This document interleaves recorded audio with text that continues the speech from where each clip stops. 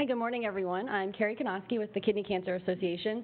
Um, I recognize a lot of faces from last year. It's, it's great to be back, and um, I want to thank Dr. Tykodi and um, the rest of the speakers for, um, for putting this meeting together for us this year. Um, I think it's a pretty um, impressive agenda, and I hope that you are as excited as I am to see what they have to present. Uh, I just wanted to take a few moments to, for those of you who don't know about the Kidney Cancer Association, we were founded in 1990 by Dr. Eugene Schonfeld. Gene was a professor at the Medill School of Journalism in Northwestern.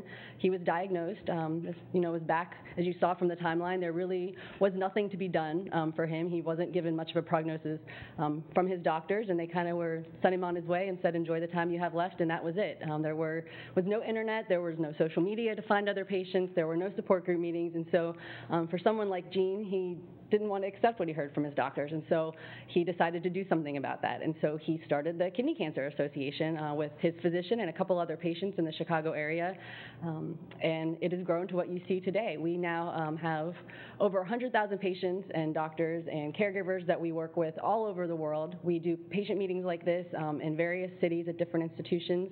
Uh, we do two large medical symposia each year, one in the U.S. in the fall and then one in Europe every spring, where we bring together physicians from all over the world world to talk about um, you know, what kind of trials are being done, um, share their research, and an opportunity to network with one another.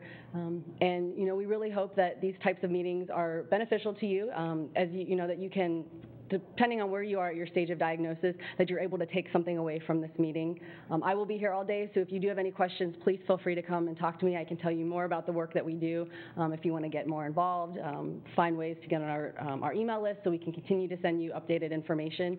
Um, the meeting will be videotaped, so don't worry about trying to scribble down all the notes while the speakers are talking. You'll be able to go back and, and, watch the video, and we'll make sure that we send that link out to all of you when it's available. And so if you have any questions, again, please let me know. But thank you and enjoy the rest of your day.